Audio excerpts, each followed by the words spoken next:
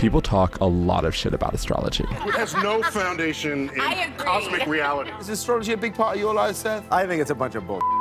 And they've got a point. We came up with astrology ages ago, back when science meant looking up at the stars and making up stories. Astrology isn't science, but it is something lots of people identify with and use to explain their feelings, their issues, their relationships. Fundamentally, astrology is a way of talking about who you are and how you relate to other people. And astrology may even be more than that. Once upon a time, astrology was really useful for science. And maybe science could still learn a lot from astrology, even if you think it's bullshit.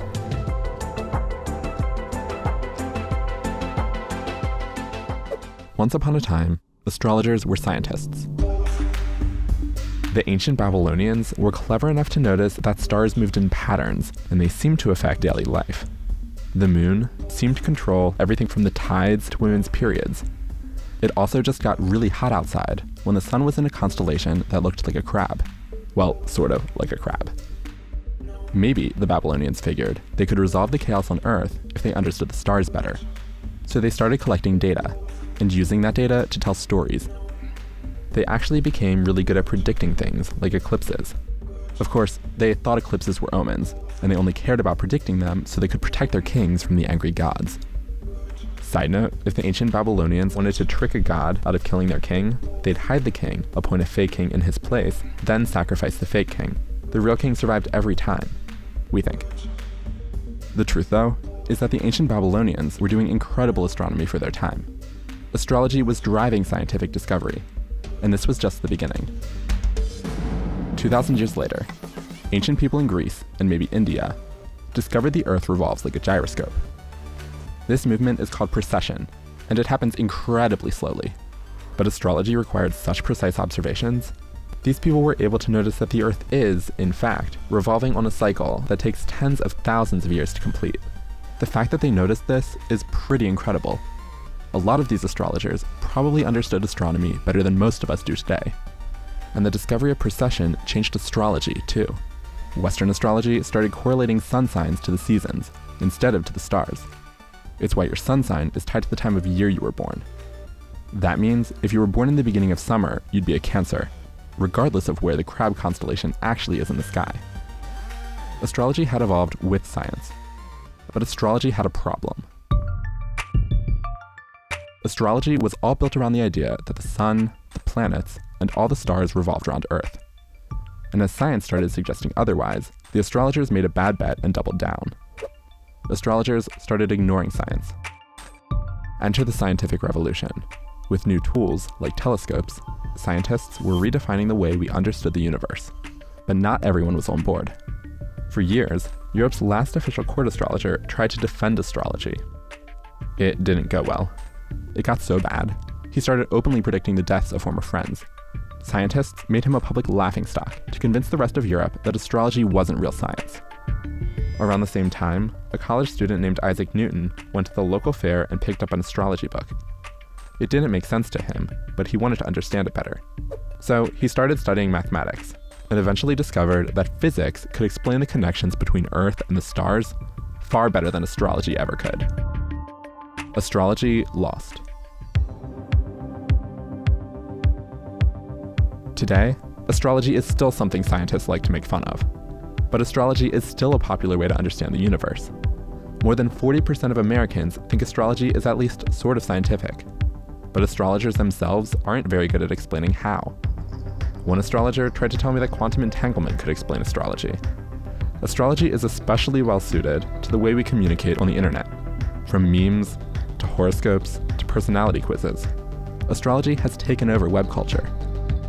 It's also taking over the apps on your phone. We were completely floored by how much response we got. That's Banu Guler, co founder of CoStar, a new social astrology app. CoStar takes NASA data on stars and planets and turns them into personalized predictions based on algorithms tuned by professional astrologers. Guler says it doesn't actually matter if people believe in astrology. The better question, she says, is whether it helps people.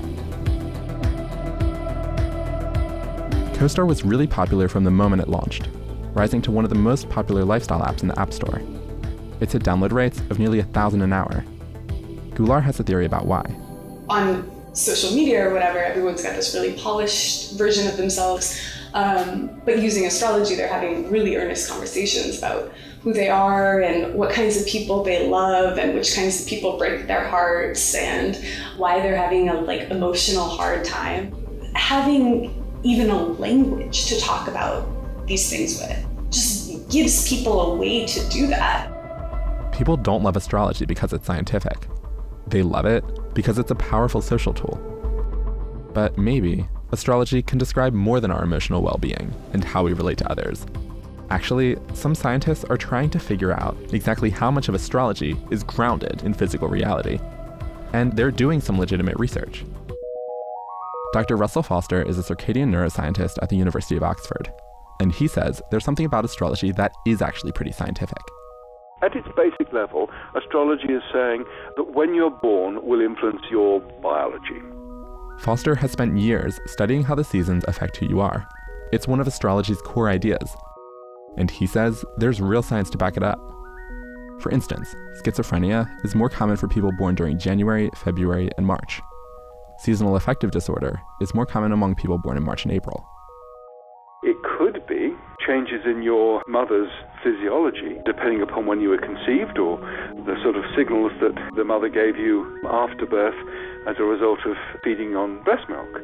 There is absolutely a statistical impact of when you were born on a whole range of our different parameters. When you're born can affect everything from your lifespan to your height and weight. Your birth season can influence your personality and even your likelihood of developing an eating disorder or mental illness. Astrologers have always believed some version of that. The stars and our bodies all follow natural rhythms. And actually, that idea has made astrology an important medical tool for centuries. This story starts around 500 years ago. Astrology and medicine had a long, long marriage. That's Dr. Lauren Kassell, a philosophy of science lecturer at the University of Cambridge. Kassell studies some of the earliest surviving medical casebooks, written around the year 1600. Medical records written by doctors using astrology. At the time, lots of doctors didn't actually write things down. They would simply treat patients on the spot based on their most obvious symptoms. But doctors who used astrology did things differently. They had to draw astrological charts, and in the process, they wrote down lots of information about the patient and they used all that information to make medical predictions, sort of like doctors do today. They could use astrology as a diagnostic to try to work out how the timing of the illness would then foretell what was going to happen next in the disease. Because the art of prognostication is what doctors do.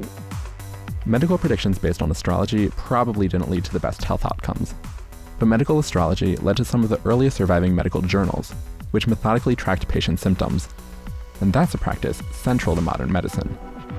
And Kassell says there's another practice modern doctors might want to take from those medical astrologers. The 17th century doctors Kassell studies treated patients using remarkable amounts of information, from bodily functions to family histories to the positions of the stars. Today, modern medicine is also learning to embrace complexity.